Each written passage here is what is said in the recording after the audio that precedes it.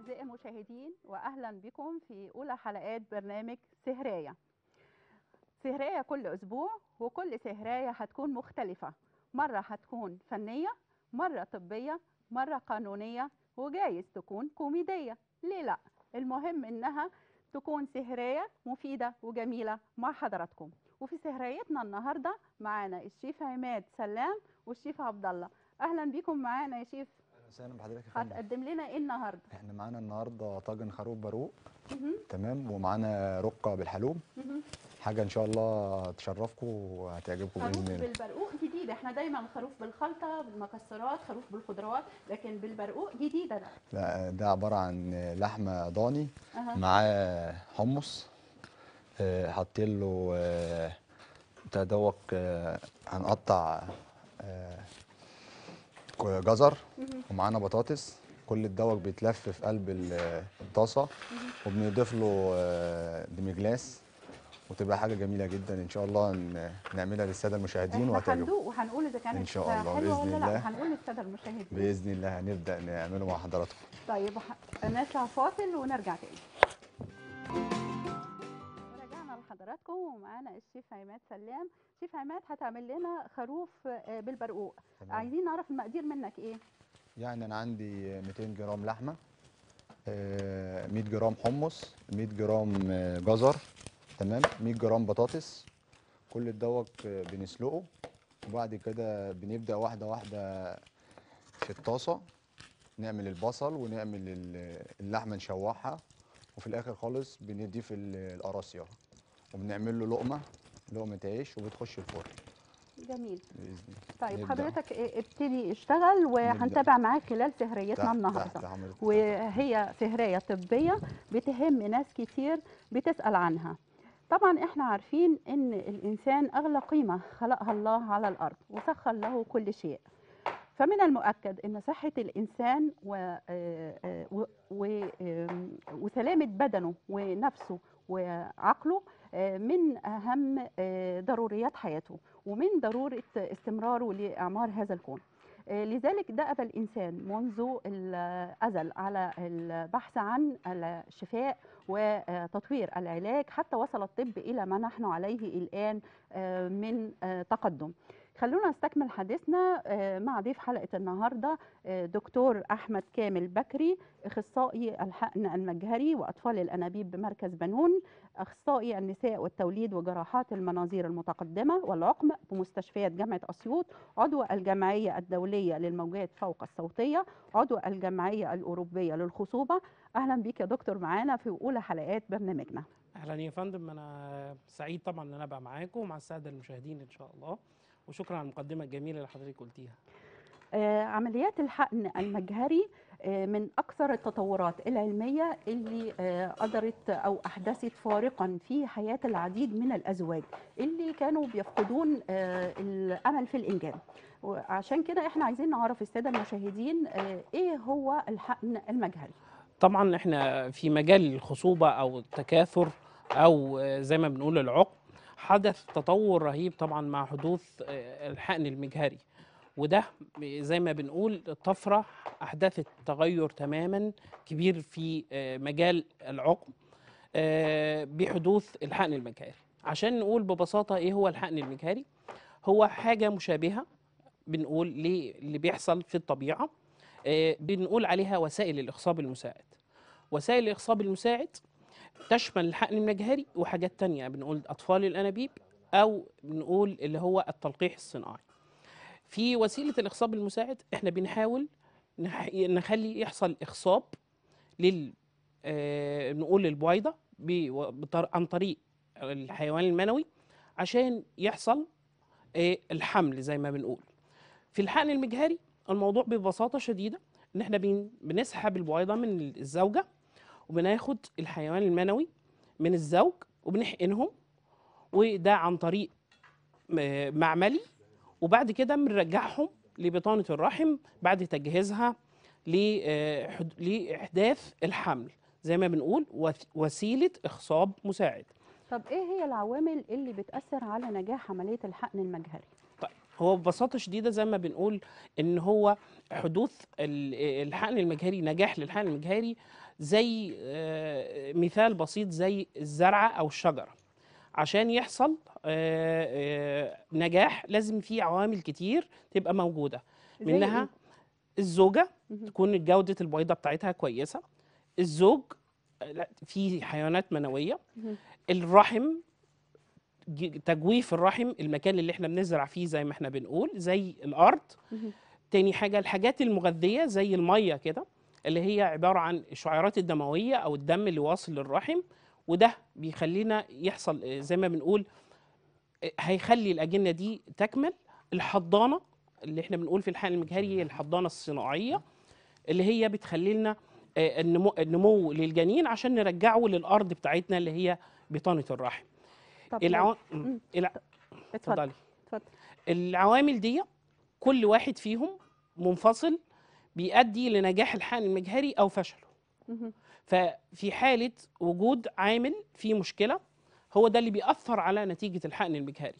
طب لو سن الزوجة آه، بيؤثر على نجاح العملية من عدمها؟ آه طبعا.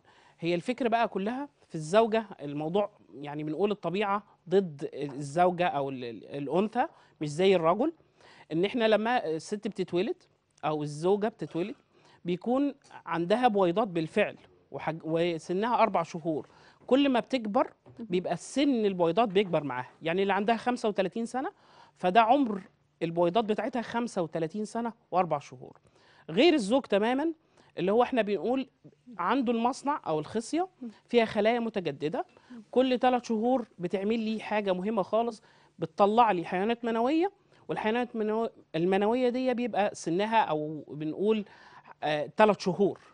فده اللي بيفرق. فكل ما بنكبر. الجودة بتاعت البويضات دي بتقل. عددهم بيقل مخزون مبيض بيقل فده بيأثر طبعا على نتيجة الحقن المجهري يبقى إحنا هنا آه، يعني سن الزوجة بيفضل إن هو يكون سن صغير آه، على عكس الرجل مش فارق السن قد ما يكون فارق جودة جودة الحيوان أكيد المنوي أكيد طبعا ال- ال- السن من العوامل الأساسية في نجاح الحقن المجهري كل ما الست بتتأخر في الحقن المجهري ده بيخلي لنا نسبة الفشل بتزيد لأن العدد بيقل الجودة بتاعت البيضات بتقل.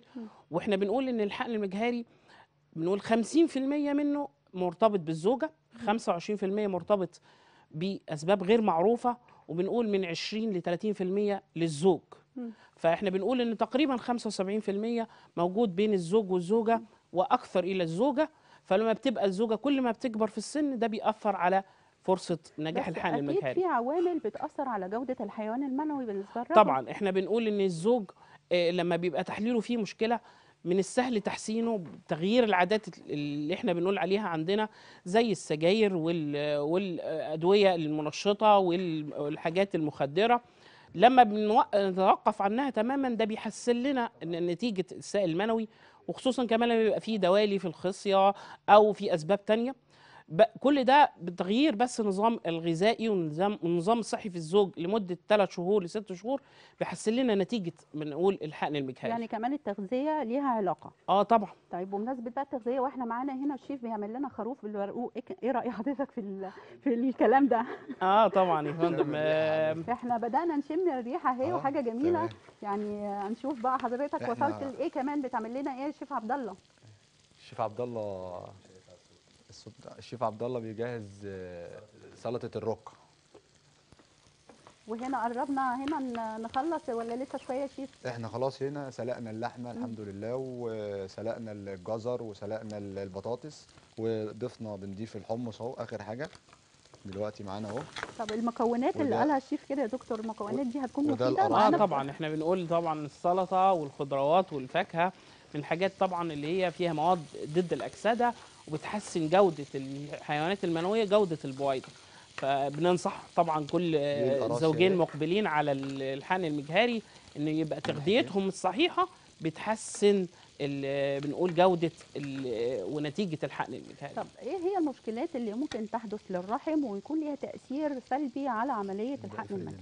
زي ما بنقول إن ال- ال- الرحم ده عبارة عن آه، زي بنقول الأرض للش- للشجرة لازم تكون ممهدة بطريقة صحيحة يكون فيها كل عامل يساعد على حدوث الاخصاب طبعا في أسباب كتيرة بتعمل الفشل للحقن المجهري أهمهم المكان اللي بنزرع فيه. لازم يكون مفيش لوف رحمية لحميات التصاقات في بطانة الرحم. ده الجزء اللي يخص المكان اللي بنزرع فيه. طبعا المكان ده بيتغذى عن طريق شعيرات دموية. في ناس كتير عندهم أمراض مناعية أو أمراض أجسام مضادة زي ما بنقول دي بتتحد وبتقفل الشعيرات الدموية فبتخلي لنا ما بيحصلش انغماس أو بنقول السقوط المتكرر أو الإجهاض المتكرر لوجود ال ال الأجسام المضادة أو الأجسام المناعية. الحاجات دي ده بنقول ده المكان اللي إحنا بنزرع فيه. لازم تكون البذرة بتاعتنا بنقول أو الجنين هو اللي بنحطه جوه بطانة الرحم جودته ممتازة. لازم يكون آه، بنقول جاي في الفصل بتاعه أو الوقت أو الميعاد بتاعه اللي هو بنقول الجنين اليوم الخامس. الجنين بيوصل لبطانة الرحم على اليوم الخامس. فالأجنة بتاعت اليوم الثالث وده كان موجود في الأول وأغلبية المراكز دلوقتي بتشتغل بالأجنة اليوم الخامس طبقا للتوصيات إلا في حالات معينة. حدثت طفرة في نجاح الحقن المجهري. بي- بيوصل الجنين لليوم الخامس بجودة كويسة في حضانة كويسة. وده بيساعد على انغماس الأجنة ودي حاجة يعني مشابهة أو مماثلة للفسيولوجي زي ما بنقول أو ال طبيعة الحياة إن هو الجنين يبقى في اليوم الخامس في بطانة الرحم وينغمس ويحصل له التصاق فده بيحسن لي نجاح الحقن المجهري طيب لو هنا بقى في ورم ليفي سواء كان داخل الرحم أو خارج الرحم كيفية تأثيره على نجاح عملية الحقن المجهري؟ طبعا آه، ال- آه، بنقول ال ESHRE أو ال European Society كان ليها توصيات جديدة في موضوع الألياف الرحمية وتقييمها وإيه اللي يأثر ولا لأ. طبعا الألياف اللي ملامسة أو بنقول جوه بطانة الرحم دي ليها دور كبير في فشل الحقن المجهري وهنا بيجي دور المنظار الرحمي في تقييم بطانة الرحم والأشعة ثلاثيه الأبعاد في آه، تقييم هل اللوفة دي بتأثر على المكان اللي بن- بنزرع فيه أو بننغمس فيه تنغمس فيه الأجنة ولا لأ. في حالة وجودها في الخارج بيبقى لينا تقييم لكل حالة بطريقة منفصلة. هل الحالة دي سبق لها الحمل والإجهاض أو الولادة المبكرة؟ حجم اللوف. آه، هل اللوفة دي مؤثرة في مكان مؤثر بالنسبة لنا في بالنسبة للحقن؟ العدد. آه، كل الحاجات دي بتقول لنا إحنا نعملها ولا لأ. إنما ما دامت موجودة في تجويف الرحم أو ملامسة لتجويف الرحم لو في إمكانية طبعا جراحيه إن إحنا نشيلها بنشيلها طبعا.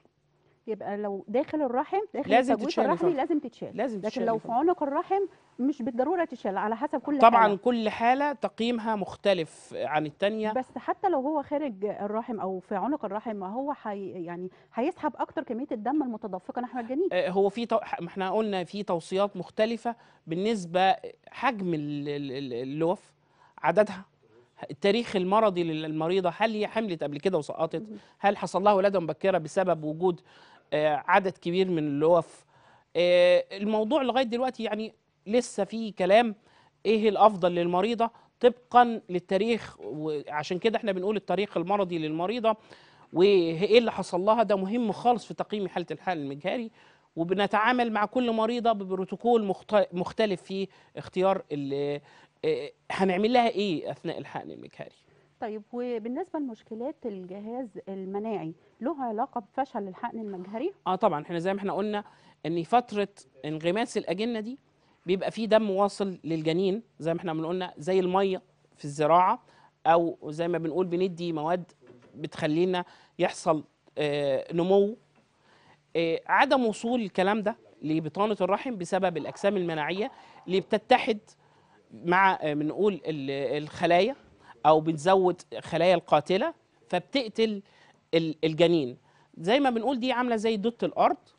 ده بيخلي لنا الجنين بعد ما ينزرع يحصل له آه، ما يحصلش نجاح للحقن المجهري. ودي بنقول عليها الأكس الأجسام المناعية. علاج الموضوع ده آه، بنقول بيظهر على طول آه، بعد لا قدر الله فشل أو تاريخ مرضي لتكرار فشل الحقن المجهري أو إجهاض متكرر. وده آه، ليه تحاليله وليه علاجه.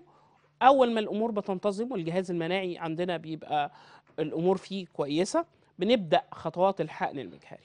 طيب خلينا نسأل كده شيف عماد آه، شيف عماد قول لي عندك فكرة عن إيه هي المواد الغذائية اللي ممكن تبقى مفيدة للسيدة الحامل؟ يعني أي أنواع الخضروات. بالنسبة للخضروات الفريش ال- زي البقدونس ال- الرقه اللي إحنا هنعملها دلوقتي عبارة عن جرجير وطماطم كل الحاجات دي مفيدة صحيا. ونبعد عن ال- الحاجات اللي فيها مواد حافظة. كل الدوق بيأثر على الجنين وبيأثر على ال- على الحاجات دي خالص. فاحنا عاملين أكلة حتى الأكلة دي دسمة وأكلة يعني مفيدة جدا مع. السلطة. مغذية آه. وأكلة جميلة واكيد. وأكيد طعمها حلو لأن ريحتها تحفة. حضرتك شم الريحة يعني و- والسادة المشاهدين إن شاء الله يجربوها وتعجب حضراتهم يعني بإذن الله. إحنا خلاص كده خلصنا اللحمة اتسلقت وكل حاجة اتسلقت هنقدم أيوة، هنفضيها في الطاجن. آه هنفضيها في الطاجن. وهنرجع لك تاني. يعني. أروح بس لدكتور أحمد عايزه أسأل حضرتك بخصوص آه، المعمل. هل هناك مقاييس يجب مراعاتها في اختيار معمل الحقن المجهري لضمان نجاح العملية؟ طبعا إحنا بنقول إن الحقن المجهري مش عمل فردي بيقوم على شخص. وجود معمل قوي ودكتور في المعمل عنده خبرة أو بنقول خبرة معملية ده دوره بنقول الجندي المخ... المخفي في عملية الحقن المجهري بيقوم عليه نجاح وفشل الحقن المجهري وجود معمل بقوة في أجهزة في حضانات بمستوى عالي في آه، إمكانيات عالية ده بيساعد على نجاح الحقن المجهري باكثر من 70% من العملية. طب إيه الفرق ما بين حضانة وأخرى؟ كان في زي ما بنقول أغلب المراكز في مصر دلوقتي كان فيها الحضانات التقليدية اللي إحنا كنا بنف- بنفتحها كل ما بنحب ندخل جنين أو بنبص عليه. آه، دلوقتي بيجي في الحضانة الذكية أو ال EmbryoScope وبعد كده ظهرت كمان الحضانة الجديدة اللي هي فيها بنقول separate chamber أو أوض منفصلة أو غرف منفصلة للأجنة. ودي مرتبطة طبعا إن إحنا بدل ما بنفتح الحضانة عشان نبص ما نفتحش على الأجنة كلها لأنها بتتأثر طبعا بالحرارة وبفتح الحضانة المتكررة. وجود حضانة بقوة زي بنقول الحضانات اللي فيها غرف منفصلة آه، خلانا آه، بيخلي الجنين زي ما إحنا قلنا بيوصل من اليوم الثالث لليوم الخامس بجودة كويسة وما بيحصلوش أي مشاكل أو ما بيتوقفش في مرحلة من المراحل بسبب آه، ضعف الحضانة أو المعمل اللي إحنا موجودين فيه. يعني نقدر نقول إن التقنيات الحديثة اللي بنسمع عنها كان ليها دور آه، أو نسبة كبيرة في نجاح عملية الحقن المجهري آه، طبعا في تقنيات جديدة ظهرت وأثرت معانا في نجاح الحقن المجهري منها تقنيات كتير خالص في اختيار أحسن بويضة وأحسن حيوان منوي فده أثر معانا في نتيجة الحقن المجهري في اختيار الحيوان المنوي إحنا بقينا بنختار عن طريق ال IMSI أو بنقول ال- ال- الميكروسكوب اللي بيخلي لنا نبص على الحيوان المنوي 120 ضعف للأول فبيخلينا نختار أحسن حيوان منوي عشان نحقن بيه البويضه زي ما إحنا بنقول عشان البذرة بتاعتنا أو بنقول الجنين يبقى أقواهم وأحسنهم. آه، التقنيات التانية زي ال assisted hatching أو بنقول الليزر في مساعدة فقس البويضة. برضو زود بنقول حالات انغماس الأجنة وحدوث آه، حمل. تقنيات زي النانو تكنولوجي دخلت في الموضوع. كل ده ساعدنا في حدوث آه، آه،. زيادة فرصة النجاح في الحقن المجهري آه، فده خلانا الوضع مختلف تماما غير الأول في حالات فشل الحقن المجهري وتكرار الفشل مع الحالات. يبقى إحنا نقول إن الحضانة الذكية أو الحضانات الحديثة أصبحت بتساعدنا على إن إحنا نختار جنين قوي. آه طبعا إحنا دلوقتي داخلين في مرحلة تانية خالص إن هو اختيار الأجنة يتم يبقى حاجة زي بالكمبيوتر زي ما بنقول بمتابعة شكل طيب. وحجم ال- ال- الاجنه وتطورها وانقساماتها عن طريق الكمبيوتر دي حاجات جديدة خالص شغالة في آه، بنقول under research ودي هتغير مفهوم الحقن المجهري آه، في كام سنة لشكل مختلف تماما في طريقة اختيار الأجنة إحنا- والأفضل إحنا شامين الريحة كده تمام يا شيف إحنا عايزينك تغرف بقى من فضلك الأكل. كده عشان نشوف معاك وقبل ما نروح. نشوف الأكل مع الشيف أنا بس عايزة آه، عس- سريعا كده نصايح مهمة أو تعليمات لكل زوج وزوجة بعد عملية الحقن المجهري طبعا بعد حقن المجهري زي ما بنقول التوتر أو العصبية أو الجزء النفسي أهم جزء في الحقن المجهري وده بنبدأ فيه من قبل كمان تحضير الحقن المجهري بحيث إن إحنا نبقى فاهمين إن ده هبة من عند الله والهبة دي بتتغ... يعني آه ليس لينا فيها دخل إحنا بنعمل الخطوات الصحيحة. بنقول إن أهم نصايح بعد الإرجاء بعد سحب البويضات اتباع التعليمات الخاصة بالمركز اتباع آه، الخطوات الخاصة بالعلاج في مواعيده. اللي بنقول آه، قلة الحركة في الفترة بتاعة الانتظار.